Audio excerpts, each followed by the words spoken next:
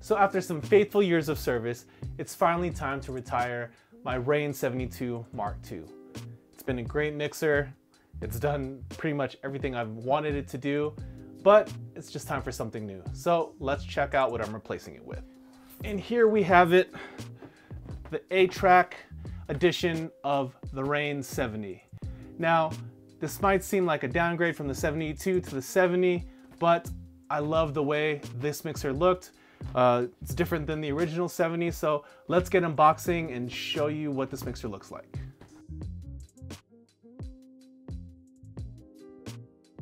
Nice card with a A-Trak signature on it. That's cool. Some cables, uh, some lube for the fader, pause, and some stickers. Looks like the power cable to the mixer. Let's get all of this out of here.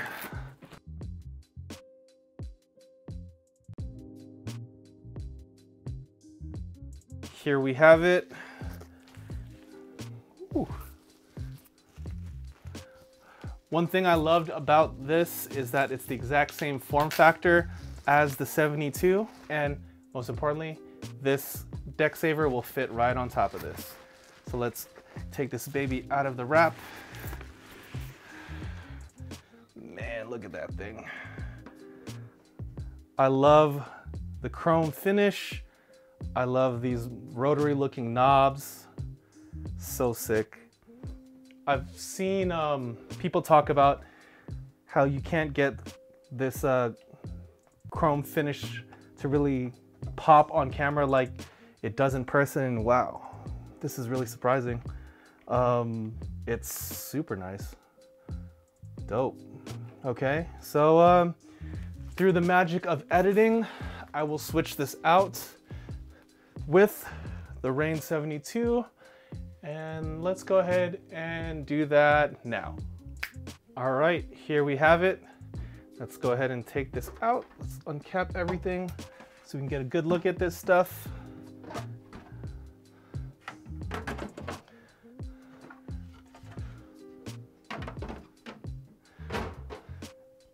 Man, that looks sick.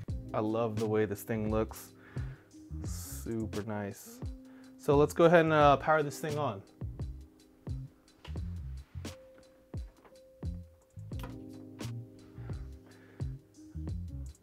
Oh, there it goes.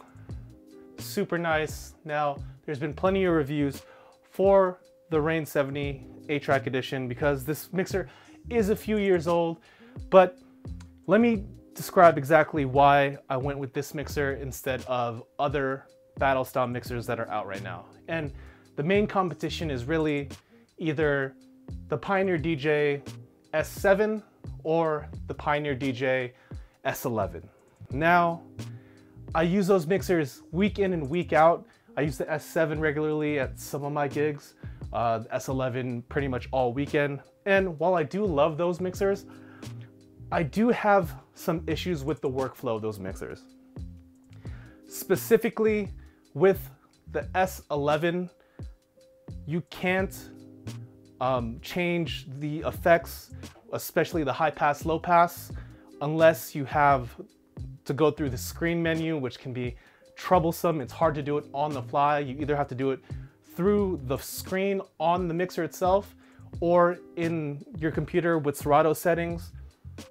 With the S7, it's uh, a little bit easier to set all its parameters, which I like, but the build quality on the S7, especially the up faders, it's not up to the same standard as something like this Rane 70. Now, even the S11, you do get that Magvel Pro, Magvel Pro crossfader with the S11, but the two up faders are kind of regular stock faders. They're not professional faders. And if you need to switch them out, you're gonna have to replace them with, you know, other parts where with this, these three faders are the exact same, just like they are in the 72. And I love those faders, I still do. They feel great.